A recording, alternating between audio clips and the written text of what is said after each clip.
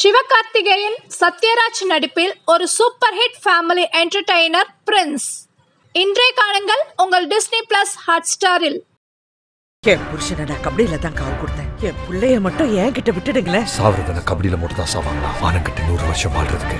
மானத்தோட அன்னைக்கே செத்துடலாமா? என்னது? அவ்வளோ ஈஸியாவா கால் பண்ணு. இடத்த சொல்லு. நம்ம வீட்டு ஆளுங்க நம்மள எப்படி பார்த்துப்பாங்க? அப்படி பார்த்துப்பாங்க. போலாமா? இப்படிங்கிறக்குள்ள ஒரு செம ஜிடி ஹாலிடேக்கு விஐபி ஹேர் கலர் ஷாம்பு ஈர கையில எடுத்து அப்ளை பண்ணி மசாஜ் செஞ்சு 15 மினிட்ஸ்ல வாஷ் பண்ணிடலாம். ஹேர் நேச்சுரல் கலர் பக்கா. VIP hair colour shampoo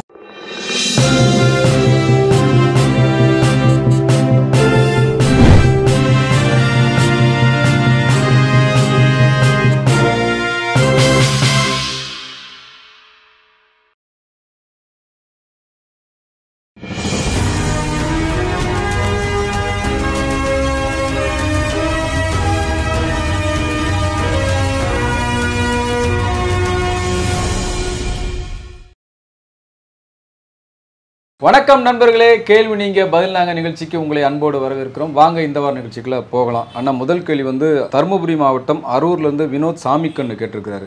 Game of Thrones Vikings மாதிரியான ஹாலிவுட் வெப் சீரிஸுகள் மிகவும் பிரபலமாகி மிகப்பெரிய வெற்றியை பெற்றுள்ளது. இதே பாணியில் நமது வரலாற்று கதைகளான ராஜராஜ சோழன் மருது பாண்டியர் தீரன் சின்னமலை போன்றவை எப்போது வெப் சீரிஸாக வரும்? அப்படி வந்தால் அவைகள் எல்லாம் ரசிகர் மத்தியில் வரவேற்பை பெறுமா? அப்படின்னு கேட்குறாரு. இல்லை நிச்சயமாக பெறும். அதில் என்ன சந்தேகம்? இந்த மாதிரி பெருமா வரவேற்பார்களா? பார்ப்பார்களா? அப்படிங்கிற கேள்விக்கான பதில் தான் பொன்னியின் செல்வனுக்கு கிடைத்த வெற்றி. இதுக்கு மேலே வந்து ஒரு பதில் வந்து தேவையே கிடையாது. அதுக்கப்புறம் மக்கள் வந்து எல்லாத்தையுமே அது சரியான படைப்பாக இருக்கும் பட்சம் ரசிக்க தயாராக இருக்காங்க. ஸோ அதற்கான உதாரணம் தான் பொன்னியின் செல்வன். இன்னொன்று தெரியுமில்ல பொன்னியின் செல்வன்கிறது ஒரு நீண்ட நெடிய கதை. அதை வந்து ஒரு ரெண்டு பாக திரைப்படமாக சுருக்கும் போது பார்த்தீங்கன்னா அந்த கதையை படித்தவங்களுக்கே தெரியும். அடடா நல்ல நல்ல காட்சிகள்லாம் படத்தில் இல்லையே அப்படின்ட்டு. அதே நீங்கள் ஒரு வெப் சீரிஸாக எடுக்கும்போது இந்த ஏமாற்றங்கள்லாம் இருக்காது. நீங்கள் பார்த்தீங்கன்னா அந்த எழுத்தில் உள்ளதை அப்படியே ஒரு திரைக்கதை அமைச்சு வந்து நீங்கள் அழகாக எடுத்துடலாம். ஸோ அது வந்து உண்மையிலேயே ஒரு நல்ல யோசனை தான். ஆனால் இங்கே என்ன சிக்கல் அப்படின்னா இப்போ பொன்னியின் செல்வனுடைய பட்ஜெட் உங்களுக்கு தெரியும். அவ்வளோ பெரிய பட்ஜெட்டில் எடுக்கப்படுகிற அந்த படத்தை நீங்கள் திரையரங்குக்கு கொண்டு வந்தால் தான் அதை திருப்பி எடுக்க முடியும். அதில் தான் இந்த அளவுக்கு மிகப்பெரிய பிஸ்னஸ் இருக்குது மிகப்பெரிய வசூல் இருக்குது ஆனால் வெறுமனே வெப் சீரிஸாக எடுத்தால் இந்த வாய்ப்புகள்லாம் இல்லை. அதனால் அதில் ஒரு பெரிய ரிஸ்க்கும் இருக்குது அதையும் தாண்டி இன்றைக்கி பார்த்தீங்கன்னா நெட்ஃப்ளிக்ஸு அமேசான் போன்ற அந்த ஓடிடி நிறுவனங்கள். வந்து தமிழ் சினிமாவில் வந்து பயங்கரமாக முதலீடு பண்ணுறாங்க இப்போ சமீப காலமாக ஹாட் ஸ்டாரும் கூட. இப்போ இவர்கள் எல்லாம் வந்ததுனால இந்த மாதிரியான சப்ஜெக்டுகளை அவங்க கையில் எடுக்கலாம். அது உண்மையிலேயே நல்ல விஷயம். ஒரு நல்ல யோசனையும் கூட. அடுத்த கேள்வி அந்தோணி சாமுவேல் கேட்டிருக்காரு. நடிகர் அஜித் கிட்டத்தட்ட ஒன்றரை வருடங்கள் சினிமாவிலிருந்து ஓய்வு எடுக்கப் போவதாக செய்திகள் வருகிறது. அந்த ஓய்வு அவர் பல நாடுகளில் சுற்றுப்பணம் செய்வதற்காகவா அல்லது இரண்டாயிரத்தி இருபத்தி நான்கு தேர்தலுக்காக மாநில மற்றும் தேசிய கட்சிகள் ஆதரவு என்ற பெயரில் தன்னை தொந்தரவு செய்யுமே அதை தவிர்ப்பதற்காகவா? இல்லை அப்படி இருக்காது. ஏன்னா இப்போ இதற்கு முன்னாடி தேர்தல் நடந்தப்போ அஜித் சென்னையில் தானே இருந்தார். யாரும் அவர் வீட்டுக்கு போய் டார்ச்சர்லாம் பண்ணலை. ஏன்னா பொதுவாகவே எல்லாரும் வந்து அஜித்தை பற்றி ஒரு மதிப்பீடு வச்சுருக்காங்க. அவர்கிட்ட போனோம்னா அது வேலைக்கு ஆகாது நம்ம வீட்டுக்குள்ளேயே போக முடியாது. ஆமாம் அதனால் வந்து அந்த முயற்சியில் அவங்க இறங்கவே மாட்டாங்க. அவருடைய கனவை நிறைவேற்றிக் கொள்வதற்காக ஒரு ஒன்றரை வருஷம் விடுப்பு எடுக்கிறாரு. அவ்வளோதான் அவ்வளவுதான். அது இல்லாமல் பார்த்தீங்கன்னா இந்த பயணத்தை ஒரு ரொம்ப காலமாக திட்டமிட்டாரு. ஆமா. அதற்கான சூழல் இப்போ தான் அவருக்கு வந்திருக்கு. அதனால போறாரு. அதையும் இந்த தேர்தலையும் முடிச்சு போட தேவையில்லை. இலங்கை திரிகோணமலையிலிருந்து முருகையா ம- மதுர்சன் கேட்டிருக்காரு. நலிந்த நிலையில் உள்ள தயாரிப்பாளர்களுக்கு முன்னணி நடிகர்கள் வாய்ப்பு கொடுக்க வேண்டும். சில மேடைகளில் சில தயாரிப்பாளர்கள் தங்களுடைய கருத்துக்களை தெரிவிக்கிறார்கள். அதே போல சில வெற்றி பெற்ற தயாரிப்பாளர்களும் நலிந்த நடிகர்களுக்கு தங்களுடைய தயாரிப்பில் வாய்ப்பு கொடுக்கலாமே. ஏன் இதை செய்யக்கூடாது? நடிகர்கள் செய்வது தவறு என்றால் தயாரிப்பாளர் செய்வதும் தவறு தானே நிச்சயமா. ஆனால் அடிப்படையான ஒரு விஷயத்தை புரிஞ்சுக்கணும். சினிமாங்கிறது ஒரு பொழுதுபோக்கு கலை அப்படி இப்படிலாம் சொன்னாலும் இது வந்து ஒரு வியாபாரம். கோடிகளை கொட்டி கோடிகளை திருப்பி எடுக்கிற ஒரு வியாபாரம். அப்போ இங்கே எந்த குதிரைக்கு வந்து மவுஸ் இருக்கோ அந்த குதிரை மேலே தான் இவங்க பணம் கட்டுவாங்க. அதனால வந்து போன வருஷம் இந்த குதிரை ஜெயிச்சுது. ஆனால் இந்த தடவை நேர்கிட்ட நொண்டிக்கிட்டு இருக்கு அப்படின்னா நிச்சயமாக அதன் மேலே வந்து பணம் கட்ட மாட்டாங்க. அப்படி இருக்கும்போது இப்போ இவங்க எல்லாருமே ஒரு விழா மேடையில் போய் நலிந்த தயாரிப்பாளர்களுக்கு டேட்டு கொடுக்கணும்னு பேசுறது இருக்குல்ல அவங்களுக்கே தெரியும் கண்டிப்பாக அவர் கொடுக்க மாட்டாருன்னு. இருந்தாலும் நினைச்சா கொடுக்கலாங்கிறேன் நான். நினச்சா? அதாவது ரெண்டும் ஒன்றும் இல்லை. நலிந்த தயாரிப்பாளர்களுக்கு பெரிய ஹீரோக்கள் வாய்ப்பு கொடுக்கணுங்கிறது நியாயமான கருத்து. ஓகே. பெரிய தயாரிப்பாளர்கள் நலிந்த ஹீரோவுக்கு வாய்ப்பு கொடுக்கணுங்கிறது தவறான கருத்து. ஏன்னா இது நீங்க சொன்ன மாதிரி வியாபாரம். இப்ப பெரிய பணத்தை போட்டுட்டு வெளியில போய் வியாபாரம் பண்ண முடியாது. பட் நலிந்த தயாரிப்பாளருக்கு ஒரு ஹீரோ கால்ஷீட் கொடுத்தா அவரால் எங்க வேணாலும் பணம் புரட்டிக்க முடியும் அந்த படத்தை வந்து அழகா கொண்டு வர முடியும். அதெல்லாம் ரெண்டுத்துக்கு நிறைய வித்தியாசம் இல்லை இல்லை இதில் என்ன நீங்கள் நடிகர்களுடைய பாயிண்ட் ஆஃப் வியூவில் யோசிங்க. ஒரு நலிந்த தயாரிப்பாளருக்கு நம்ம டேட்டு கொடுத்தோம்னா அவரால் ஃபைனான்ஸை வந்து புரட்ட முடியுமா? அவருக்கு ஏதாவது பிரச்சனை இருக்கா? அல்லது இவருக்கு டேட்டு கொடுத்ததுக்கப்புறம் அந்த ரிலீஸ் நேரத்தில் ஏதாவது இவருக்கு பிரச்சனை வந்து அதை நாம சுமக்கிற மாதிரி ஆயிடுமாலாம் கேட்பாங்க. இல்ல இப்ப ஏஎம் ரத்தனத்தை வந்து எப்படி அஜித் மீட்டெடுத்தாரு? கண்டிப்பா. இந்த மாதிரி சில உதாரணங்கள் இருக்கு ஆமாம் ஆனால் பட் அந்த ரிஸ்க்கை வந்து பெரும்பாலானவங்க எடுக்க மாட்டாங்க. அதுதான் ப்ராக்டிக்கல் இல்லைன்னா எல்லா நலிந்த தயாரிப்பாளர்களுக்கும் வாய்ப்பு கொடுத்துருவாங்களே. அது எல்லாத்துக்கும் மேலே இன்னொன்று என்ன அப்படின்னா இப்போ நலிந்த தயாரிப்பாளர்கள்ங்கிற ஒரு வார்த்தை எடுத்துட்டு பார்த்தீங்கன்னா அவங்க வந்து அனுபவம் வாய்ந்த தயாரிப்பாளர்கள். இந்த ஹீரோவுக்கு இவ்வளவு தான் கொடுக்கணும் இந்த படத்துக்கு இவ்வளவு தான் செலவு பண்ணணும்னு தெரிஞ்சவங்க. ஆனால் இன்றைக்கு ஹீரோக்கள் பார்த்தீங்கன்னா அவங்களோட வியாபாரத்தை தாண்டி சம்பளம் வாங்குறாங்க. அந்த சம்பளத்தை இந்த அனுபவம் வாய்ந்த தயாரிப்பாளர்கள் கொடுக்க முன் வர மாட்டாங்க. கொஞ்சம் யோசிப்பாங்க. புதுசாக வர்றவங்க பார்த்தீங்கன்னா நீங்கள் நூறு கோடியா பரவாயில்ல சார் நூற்றி பத்தா வாங்கிக்கங்கன்னு அவங்க கொடுப்பாங்க. அப்போ இவர்களுடைய சாய்ஸுங்கிறது அந்த பணம் நிறையா கொடுக்குற புதிய ஆட்களாக தான் இருக்கும். அது ஒரு சிக்கல் இருக்கு. சரி அப்போ இப்படியாவது இந்த நடிகர்களை பண்ண சொல்லுங்க. எப்படி? இந்த அடுத்த கேள்வியை சொல்கிறேன். கோவையிலேருந்து சதீஷ் கேட்டிருக்காரு.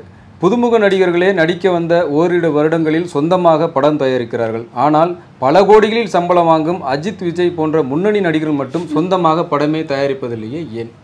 இல்ல ரெண்டு பேரும் தயாரிச்சிருக்கிறாங்க. அஜித்தும் படம் தயாரிச்சிருக்காரு அதான் நேரடியாக இல்லை அப்படின்னா. பேரில் பண்ணியிருக்காங்க. ஆமா விஜயும் அதே மாதிரி வேறொரு பேர்ல பண்ணியிருக்கிறாரு. ஆமா ஆதி எல்லாம் அவருடைய சொந்த படம் தான் அதுக்கப்புறம் நிலாவையாவை ஏதோ ஒரு படம் எடுத்தார்ல அது அவருடைய சொந்த படம் தான் அதாவது அவர் முன்னணி நடிகர்கள் சொல்றாரு பட் எனக்கு தெரிஞ்சு முன்னணி நடிகர்கள் எல்லாருமே சொந்த பட கம்பெனி வச்சிருக்காங்க. தனுஷ் வச்சிருக்காரு சிவகார்த்தியும் வச்சிருக்காரு சிம்பு வச்சிருக்காரு விஜய் சேதுபதி விஜய் சேதுபதி வச்சிருக்காரு கிட்டத்தட்ட எல்லாருமே இல்ல தயாரிக்கலாம் அவங்க நேரடியா கேக்குது. என்னன்னா இப்ப வேற பேரில் தயாரித்தது வந்து மக்களுக்கு பெருசா தெரிஞ்சிருக்காது. அந்த வகையில அஜித் விஜய் எல்லாம் ஏன் தயாரிக்கல அப்படின்னு கேக்குறாங்க. என்னன்னா பொதுவாகவே எல்லா நடிகர்களுக்கும் தெரியும். ஒரு படத்தில் நடிக்கிறேங்கிற பேர்ல நீங்க பணம் வாங்குறது தான் ரொம்ப ஈஸி படம் தயாரிப்பதுங்கிறது ரொம்ப ரொம்ப ரிஸ்க்கு ஸோ அந்த ரிஸ்க்கை வந்து பல பேர் எடுக்க மாட்டாங்க. அதுக்கு அஜித் விஜயும் விதிவிலக்கு இல்லை.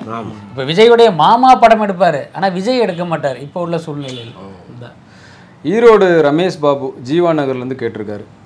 எனக்கு ரொம்ப நாளாக ஒரு சந்தேகம். ரெண்டு பெரிய படங்கள் வந்தால் கலெக்ஷன் பாதிக்கும்னு இப்போ சொல்கிறாங்க முன்னெல்லாம் பார்த்தீங்கன்னா தீபாவளி பொங்கலுக்கு நாலு பெரிய ஹீரோக்கள் படங்கள்லாம் வரும். அந்த நாலு படங்களுமே வந்து நல்லா ஜெயிக்கும் நல்லா வசூலாகும். ஆனால் இப்போ மட்டும் எதுக்கு ரெண்டு பெரிய ஹீரோக்கள் படம் வந்தாலே எல்லாரும் பயம் வருது வேணாம் வேணாம் தனித்தனியாக ரிலீஸ் பண்ணுங்கன்னு ஏன் சொல்கிறாங்க அப்படின்னு கேட்குறாரு இல்ல முன்னெல்லாம் வந்து நாலு படங்கள் வரும்.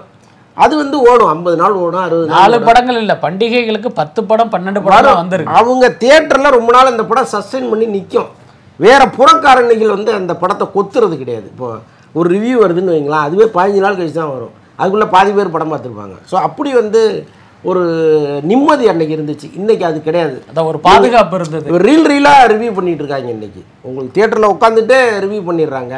அது வந்து மக்களை போய் பெரும்பாலும் போய் சேர்ந்துருது. அடுத்த ஷோ கீழே விழுந்துருது. அப்படி இருக்கும் பொழுது நிறைய தியேட்டர்களில் படத்தை போட்டு சீக்கிரம் பணத்தை எடுத்துடணுங்கிற எண்ணம் வர்றதுனால தான் ரெண்டு படங்கள் ஒரே நேரத்தில் வந்துடக்கூடாதுன்னு பதட்டப்படுறாங்க இல்ல இன்னொன்னு ஒரு காலத்தில் சினிமா வந்து வியாபாரமா இருந்தது. ஆனா இன்னைக்கு ஒரு சூதாட்டம்ங்கிற ஒரு இடத்தை நோக்கி சினிமா நகர்ந்துகிட்டு இருக்கு. உதாட்டமா ஆமா ஒரு பெரிய பணத்தை முதலீடு பண்றது அதை ரெண்டொரு நாட்கள்லயே திருப்பி எடுத்துடுறது.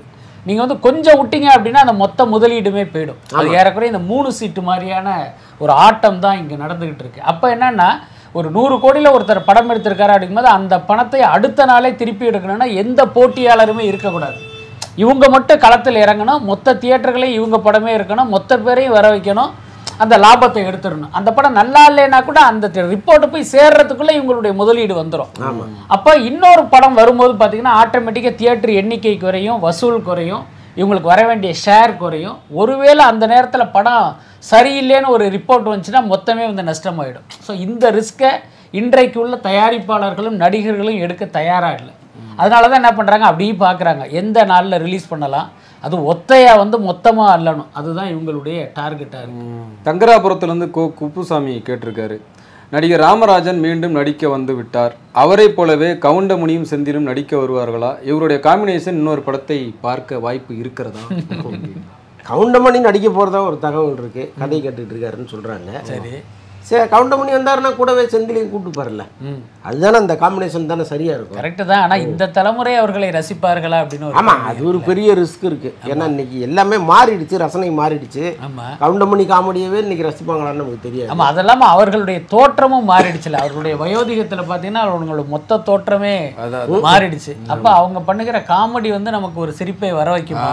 அப்படிங்கிற ஒரு கேள்வியும் இருக்கு. ரெண்டு நாளைக்கு முன்னாடி ஒரு வீடியோ பார்த்தேன் கிளிப்பிங்ஸ் கவுண்டமணி வந்து டேய் சாப்பிட்றா. அப்படின்னு சொல்லிட்டு போவாரு. அது அவ்வளோ இயல்பா இருக்கும். அதே அந்த டோன் வந்து இப்போ அவர் பண்ணா வருமாங்கிறது ஒரு சந்தேகம் இல்லையா? ஏன் சிரிக்கீங்க புரியுது. புரியுது. கோயம்புத்தூர்ல இருந்து யாசர் கேட்டிருக்காரு. கொரோனா காலகட்டத்தில் எல்லா நடிகர்களும் தங்களுடைய படங்களை ஓடிடிக்கு விற்று பணம் சம்பாதித்த போது நடிகர் விஜய் மட்டும்தான் தன்னுடைய மாஸ்டர் படத்தை தியேட்டரில் மட்டுமே ரிலீஸ் செய்வேன் என்று உறுதியாக இருந்து தியேட்டருக்காரர்களுடைய வாழ்வாதாரத்தை பழைய நிலைக்கு கொண்டு வந்தார். அப்படிப்பட்ட விஜயின் வாரிசு படத்துக்கு இப்பொழுது குறைவான தியேட்டர்களையும் அஜித் நடித்த துணிவு படத்துக்கு அதிகமான தியேட்டர்களையும் ஒதுக்குகிறார்கள் என்று ஒரு செய்தி வருகிறது. தியேட்டர்காரர்கள் செய்வது சரியா அப்படின்னு கேட்குறாரு. ஆக்சுவலி என்னன்னா அந்த மாஸ்டர் படம் அந்த ஓடிடியில் வெளியிடுவதற்கான நிறைய அழுத்தங்கள்லாம் இருந்தது. அதையும் தாண்டி வந்து விஜய் வந்து அதை வந்து தியேட்டருக்கு கொண்டு வரணும் அப்படின்னு விரும்பினார். அது உண்மைதான். அதனால் இவருடைய ரசிகர்களுடைய மகிழ்ச்சி ஒரு பக்கம் இருந்தாலும் தியேட்டருக்காரங்களுக்கு ஒரு பெரிய வருவாயை அந்த படம் கொடுத்தது. இது எல்லாமே உண்மைதான். அதே நேரம் ஒரு வாரத்தில் அது ஓடிடியில் வந்துருச்சுங்கிறதும் உண்மை.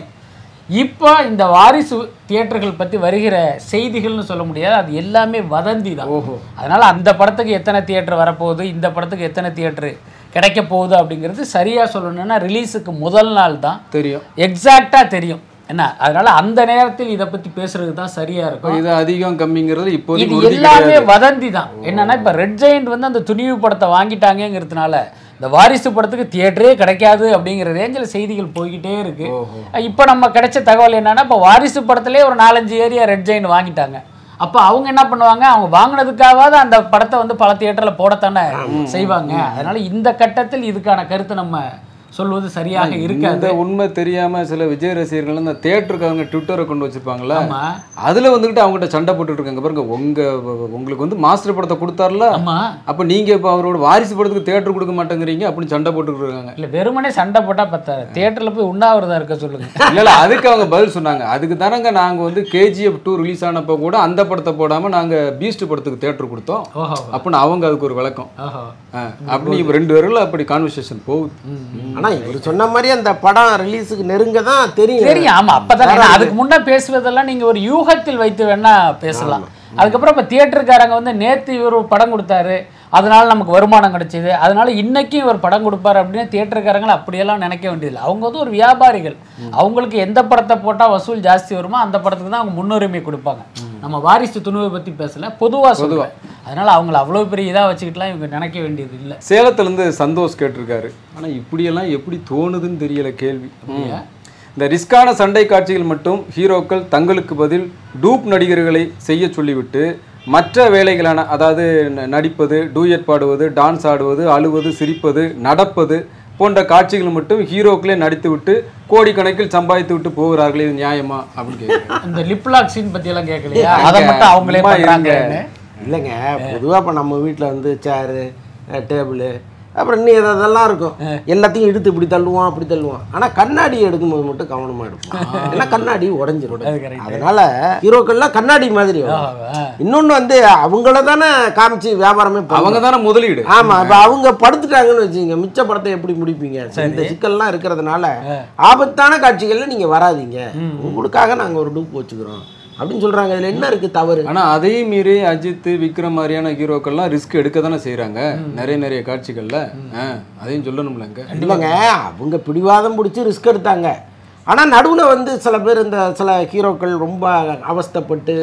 மருத்துவமனையில அடிபட்டு, அதெல்லாம். அதெல்லாம் அவங்க பார்த்த பிறகு ஐயோ நம்ம பண்ண தப்பாச்சே அப்படிங்கறதெல்லாம் உணர்ந்துட்டாங்க பின்னாடி. நன்றி நண்பர்களே கேள்வி நீங்க பதில் நாங்க நிகழ்ச்சி இத்தோட நிறைவேறியது வழக்கம் போல உங்களுடைய கேள்விகளை நம்முடைய வாட்ஸ்அப் நம்பருக்கும் வீடியோக்கு கீழே இருக்கிற கமெண்ட் செக்ஷனுக்கும் அனுப்பிச்சு வைங்க. மீண்டும் இன்னொரு வீடியோ சந்திப்போம். நன்றி வணக்கம்.